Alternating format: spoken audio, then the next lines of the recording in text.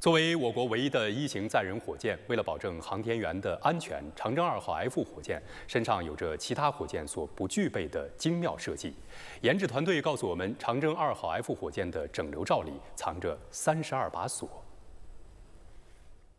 整流罩是火箭包裹飞船的保护罩。火箭在大气中飞行时，它将飞船这样的乘客罩在内部，保护他们不受外界气流、热噪声等环境影响。当火箭带着飞船进入太空，不再需要整流罩保护的时候，整流罩就会及时开门，让乘客能够安全到点下车。主要是为了保护咱们的有效载荷，尤其是像咱们这这个飞船载人飞船，到一个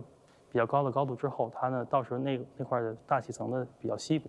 那么就没有这些那个气动热还有大载荷了，这时候就可以抛锚。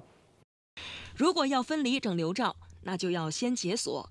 与大多数现役运载火箭采用的火工品爆炸解锁方式不同，长征二号 F 火箭的整流罩采取了一种机械锁式结构来实现解锁功能。机械式机构是比较可靠的，整流罩的外形比较复杂，然后呢，我们通过通过机械锁的方式可以很好的适应整个这个外形的变化。另外一个就是锁呢是一个机械式的多点联动式这么一机构，